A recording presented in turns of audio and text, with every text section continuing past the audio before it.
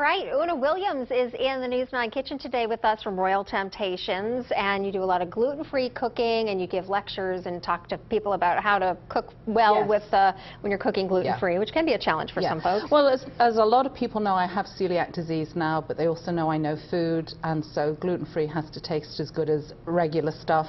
And I say, you know, real food isn't actually gluten-free. It's only baking you have to change. So this is one of the recipes this month, the National Foundation for Celiac Awareness, that you can find at my um, Facebook, Gluten-Free Cooking with Oonagh.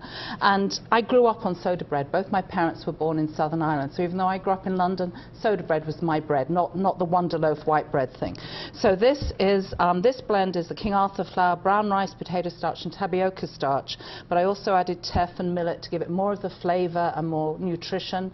A little bit of baking powder, butter, and sugar, just rubbed in, and I did it in the food processor. You know, why, why stand doing it that way?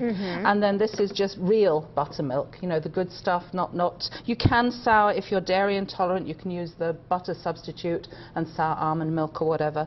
And literally, you're just going to pour this in and stir it, and it's very, very wet. When you start doing it, you think, oh my goodness, it's never going to get to anything. You just can have to see, stir it for a You long just time? stir it, and the baking powder and the xanthan gum, which, as you know, takes the place of the gluten, slowly stiffens it up. But with gluten-free, it's not a dough. None, nothing in gluten-free is a dough like in wheat flour. It's more this sort of paste that you can see, and that's stiffened up quite nicely. Then what I do, you can see on the display, whoops, that's the size I bake, because that does me nicely.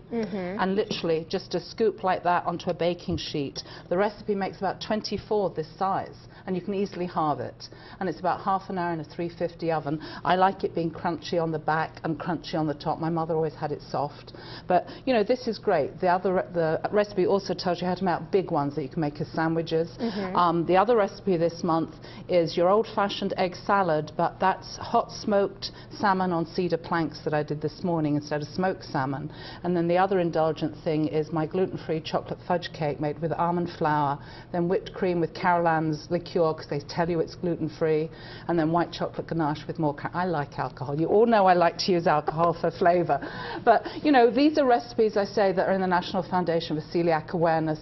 I was in um, New London last night doing a talk on not just gluten-free but the power of food. Food. I'm in Atkinson in a week or so. I'm into Mass after that, talking power of food and gluten-free and trans fats and GMOs. and how do people follow you? And you can find me on Facebook at Gluten Free Cooking with Oonagh. I forgot to say, yes, I was one of WZID's 20 Outside in Ring last weekend, so I'm, I'm very special. Ah, you are. Yes. and we appreciate it every time you come in. Oonagh, thank you so Thank much you for sharing this having me. recipe, and we'll be right back.